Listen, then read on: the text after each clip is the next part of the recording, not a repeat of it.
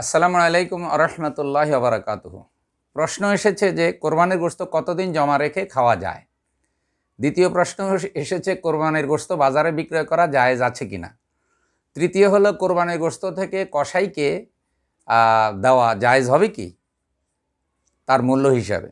চার নম্বর হলো কোরবানির গোস্ত কত ভাগ করতে হবে? সমাজে তিন ভাগের এক ভাগ জমা দিতে বাধ্য করা হয়। এটা কি ঠিক? আল্লাহ তাআলা তৌফিক দিলে আমরা সঠিক কথাই যেন বলতে পারি। এক নম্বর হলো, কোরবানির গোস্ত যতদিন ইচ্ছা, ততদিন জমা রাখতে রাখতে পারেন।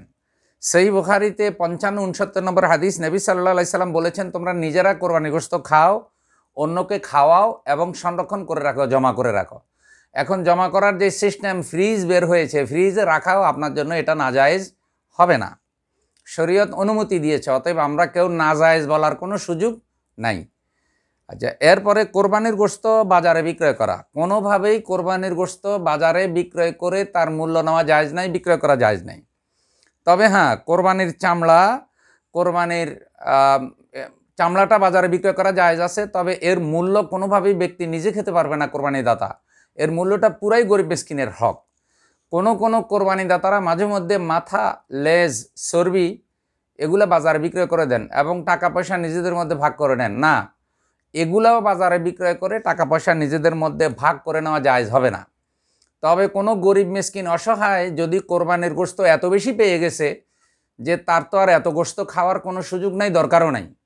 এখন সে গোস্ত দরকার নাই, তার টাকা দরকার। সে যদি বাজারে কোরবানির গোস্ত বিক্রয় করে দেয়, তাহলে সেটা তার জন্য জায়জ হবে। আর আপনিও যদি কিনেন, তার থেকে আপনার কিনাটাও না জায়েজ হবে না। কারণ আপনি তখন এটা কোরবানির গোস্ত হিসাবে কিনছেন না।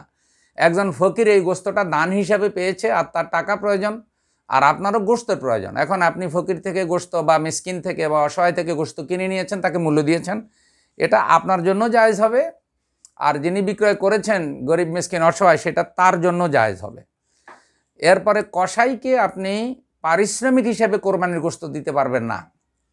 দেখেন, এটা নবী সাল্লাহ আলাই সাল্লাম নিষেধ করেছেন সই বুখারি সতেরো এবং ষোলো নম্বর হাদিস। নবী সাল্লাহ আলাই সাল্লাম বলেন যে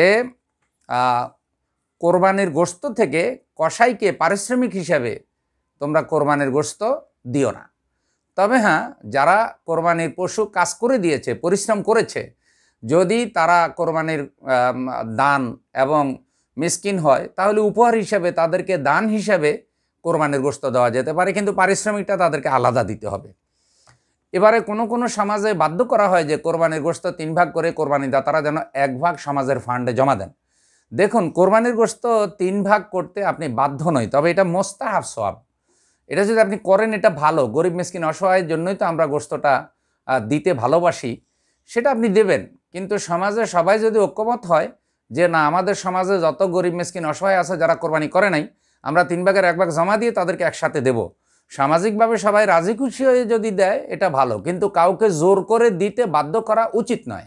আল্লাহ তালা আমাদের সকলকে সেইভাবে কোরবানি করা, কোরবানি গোস্ত বন্টন করা এবং কোরবানি গোস্ত থেকে জাগতিক ফায়দা, পরকালীন ফায়দা অর্জন করার তৌফিক দান করুন। আমিন।